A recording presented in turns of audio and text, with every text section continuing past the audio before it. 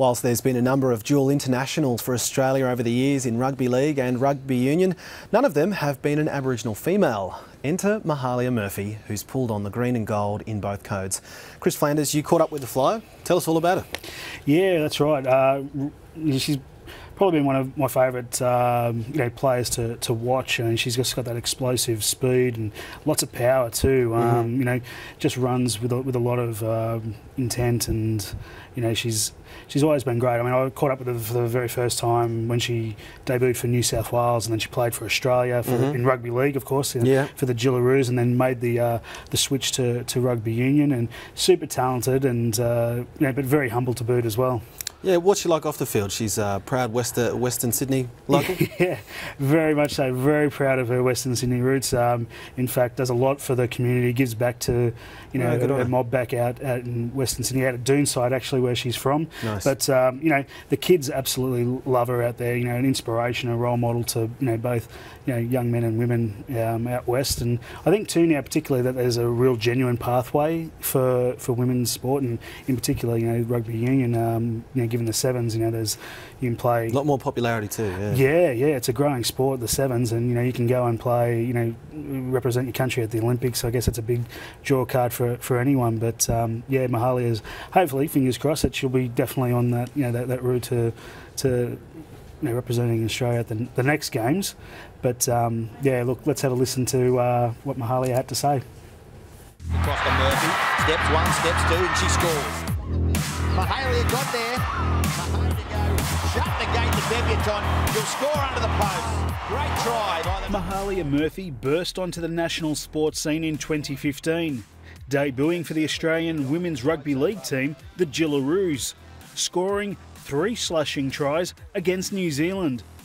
Not long after that dazzling debut, she was scouted by the Australian Rugby Union and made the switch that same year. We get to travel internationally, experience different countries and different cultures, uh, meet new people and just competing at this level is just a challenging thing for me and I enjoy that challenge. The team's based on um, a lot of skill, um, a lot of fitness, um, the awareness um, is just amazing and being able to be a part of that is just, it's, it's an amazing opportunity. With her natural speed and great footwork, the 23 year old was a perfect fit for Rugby Sevens, a game that flows quickly but still has that physicality associated with a contact sport. Mahalia is a Kamilaroi woman who proudly wears her Aboriginal colours alongside her Aussie Sevens green and gold strip. I hold our culture with pride. The history of our people is really important to me and um, you know, the connection that we have to our country and our land.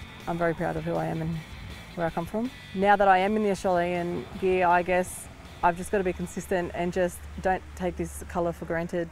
While Mahalia wasn't part of the women's side that brought home the gold at last year's Rio Olympic Games, coaching staff believe she's a vital ingredient in the future of the national seven side. She's played in every World Series tournament so far and, uh, and is getting more game time because that's probably the other thing is that it's all well and good getting selected in the 12 that travels but then forcing your way to get some you know significant game time and, and then they'll develop and, and, and improve, gain confidence and, um, and that's what she's done. You know, she's a strong physical girl that runs with a lot of intent. Um, you know, she does work very, very hard off the field in her gym and her preparation you know, just her willingness to compete is probably, you know, sort of an overriding sort of feature of her. The speedster knows that the current seven side is a tough unit to crack, and keeping her position in the team only pushes Mahalia to train and play at her very best. And there's no question about her commitment. Travelling from Doonside in Western Sydney all the way to Narrabeen on Sydney's northern beaches to train four times a week. I've been getting up at four o'clock and leaving home at 4.30. Get here, have a little snooze in the car and get ready to go. Sacrifices have been a massive um, part of my journey so far. Um, just the sacrifices being with family, spending time with friends, um, lifestyle, um, nutrition, that's a massive one for me. Former Wallabies captain and rugby union legend Mark Ella says Mahalia is a super talent and thinks the Australian Rugby Union should use her to inspire more Indigenous people to the code. Mahalia Murphy stands up and goes around the outside. She's just a remarkable athlete. I mean, talented. Uh, she can pick a gap, tough in defence, and just instinctively knows, you know, when to when to uh, I guess let the ball go. Uh, got plenty of speed. I wish I was. Uh, I wish I had her attributes. That's how good she is. The old saying rings true you can take the girl out of Western Sydney, but you can't take Western Sydney out of the girl. Alright, call your names, constable, just little pops name up and run. Mahalia hasn't forgotten her roots and where she comes from.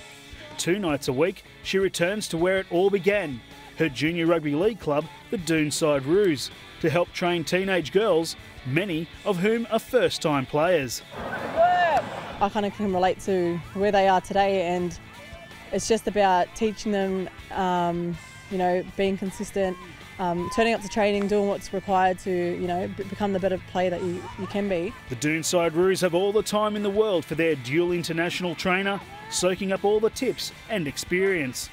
We have one of our girls, Mahalia, who's one of the top players in Australia. Mahalia actually encouraged me to come back here. So it's actually really good, so I'm enjoying it. It's not just being a part of their team, it's actually counting them as family as well. And we can just actually go a bit higher. We can set our goals and shoot for the stars. Set, go! Well, two nights a week, Mahalia does a personal training session here for the people of Doonside for free, all ages, all shapes and sizes. And tonight I'm about to see what she does. So, yeah, I better get back into it.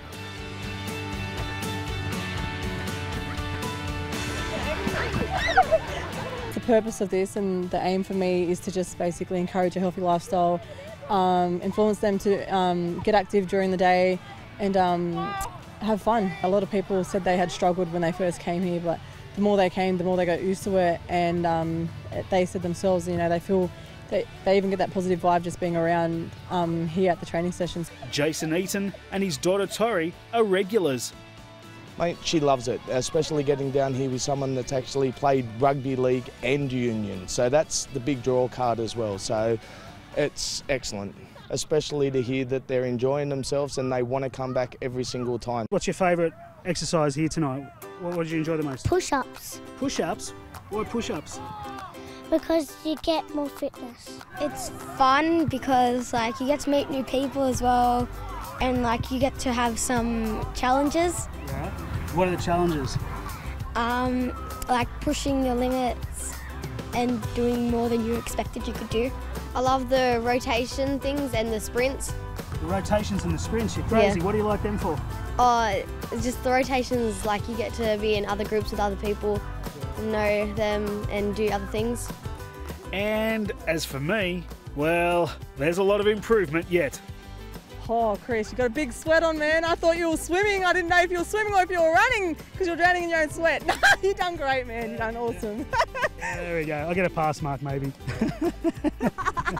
Go. Currently, there's one final round left in the Women's Rugby Sevens World Series for 2017, which will take place in France in late June, with Mahalia hoping to add to her Australian caps.